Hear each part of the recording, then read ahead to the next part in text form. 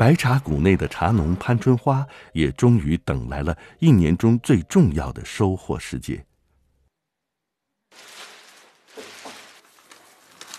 清明前后一个月的劳作，决定了一整年的主要收入。十六岁都在这里了，四十多年了。采茶季，潘阿姨雇了十多名采茶女帮忙。白天摘茶，晚夜炒茶，外面采茶的人也很可怜。善待采茶女是茶农世代遵循的传统。采茶女大多来自安徽、河南农村。天气下雨，那个后面的山很高啊，呃，你们当心滑。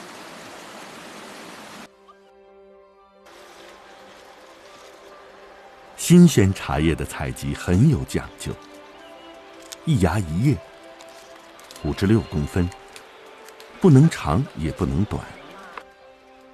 机械无法准确辨别茶叶生长的情况。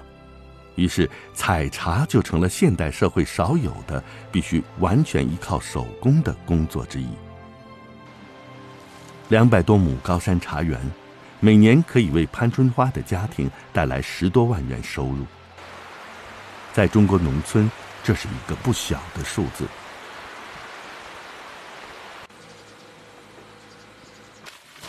潘春花的儿子桂老板。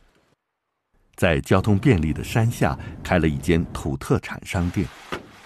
采茶季，他要赶回白茶谷帮忙。忙碌的采茶季也是贵家难得的团聚。今早来吃主意啊？这怎么我主意干多嘞？制作一斤茶叶需要六万到九万粒芽尖儿。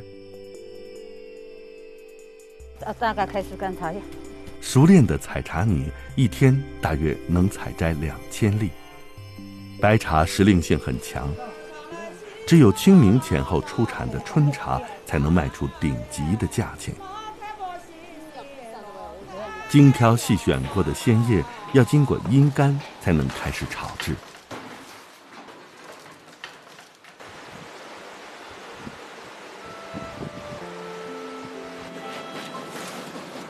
手工制茶最考验功夫的是对火候和力道的把握。翻炒鲜叶叫做杀青，火小一点，火烧大，茶叶焦黄；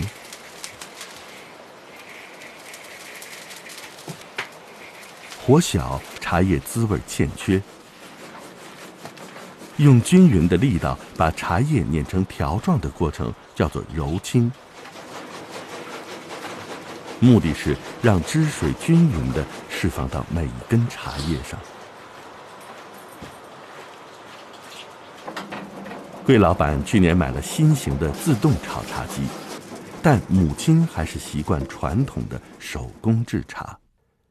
在今天，能品一杯纯手工制作的春茶。是一种奢侈。用机器炒茶也是一门功夫活。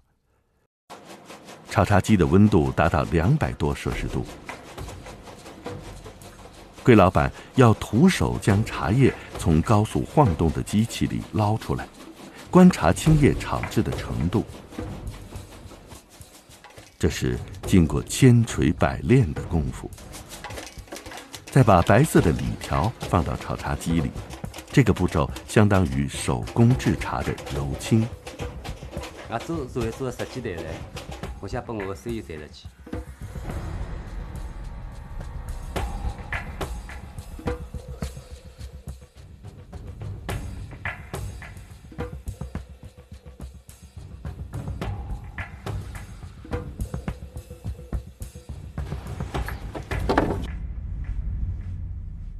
精心炮制的鲜茶，最后还需要用炭火烘干。